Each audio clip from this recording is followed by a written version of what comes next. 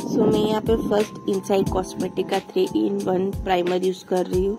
यहाँ पे मैंने स्किन केयर पहले से कर रखा है तो आप भी अच्छे से स्किन केयर कर लेना। एंड उसके बाद मेकअप स्टार्ट करना। मैंने यहाँ पे three in one primer use करा है। उसके बाद मैंने यहाँ पे फाउंडेशन का यूज़ ना करते हुए इस ब्यूटी की concealer plus highlighter palette use करी है। यहाँ पे मैंने एक डार्क शेड लिया है, अपने जो डार्क स्पॉट है, इसको थोड़ा लाइट करने के लिए। यहाँ पे फाउंडेशन का यूज़ इसने नहीं, नहीं किया क्योंकि समर चल रहे पूरा मेकअप बह जाने वाला है। आप चाहे तो मेकअप स्प्रे का भी यूज़ कर सकते हो मैंने इस वीडियो में नहीं करा है।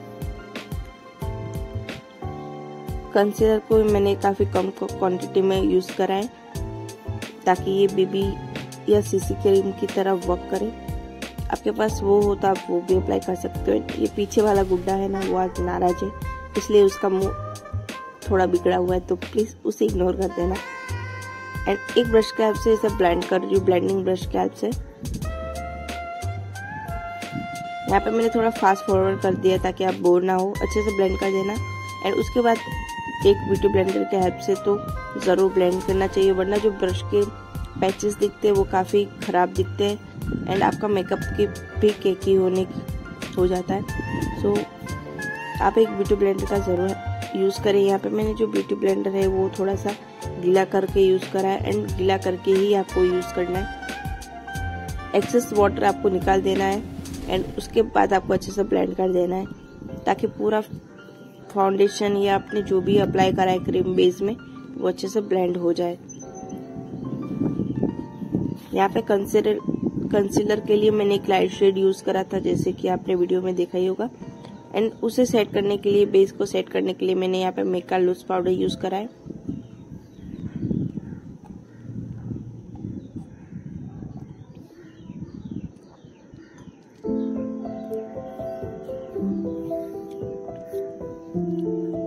अगर आप कोई क्रीम प्रोडक्ट यूज़ कर रहे हो तो पाउडर लगाने से पहले यूज़ कर लेना। यहाँ पे इस फेब सिगरेट के आई शेडो पैलेट से मैं आई मेकअप क्रिएट करने वाली हूँ। यहाँ पे ब्राउन शेड लिया है।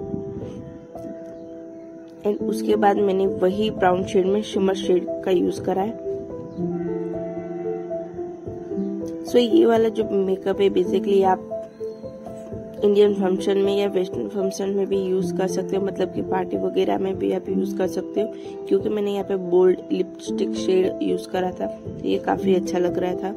एंड मुझे बोल्ड शेड ही ज़्यादा पसंद आते हैं। यहाँ पे मैंने मिलाप का आईलाइनर यूज़ करा है एंड अच्छे से एक विंग ड्रॉ कर रही हूँ। एंड मुझे इस पूरे मेकअप वीडियो में सिर्फ़ आई मेकअप और लिपस्टिक ही पसंद आई है। आप बताना आपको ज़्यादा से ज़्यादा क्या पसंद आया। है उसके बाद मैंने यहाँ पे एडीएस का मस्कारा यूज़ करा है। सो so, ये मेरा आई मेकअप का फाइनल लुक है। एंड उसके बाद मैं यहाँ पे ब्लश के लिए एकदम पीच शेड यूज़ करने वाली हूँ। क्योंकि मैंने लिपस्टिक का जो शेड है काफ़ी ज़्यादा डार्क रखा है। अगर मैं ब्लश का भी शेड डार्क रखूँगी तो ये वो बिल्कुल भी बैलेंस नहीं लगेगा एंड बहुत ज़्यादा ओवर मेकअप लगेगा। सो so, मैंने यहाँ पे पीच शेड यूज़ करा है एंड ये काफ़ी ब्यूटीफुल सा नेचुरल सा लग रहा था एंड काफ़ी ज़्यादा मेरे को ब्यूटीफुल लगा। इनफैक्ट सो so, इसे मैंने एक ब्लश के ब्रश के हेल्प से ब्लेंड कर रही हूँ। यहाँ पे मैंने लेरी रोडा का ये हाईलाइटर पैलेट यूज़ करा है। इसमें जो आते हैं वो तीन शेड आते हैं। तीनों तीन इतने ज़्यादा ब्यूटीफुल है कि मैं क्या ही बताऊँ। एकदम बटर की तरह ब्लेंड हो जाते हैं एंड ये काफ़ी पिगमेंटेशन वाले पिगमेंटेंट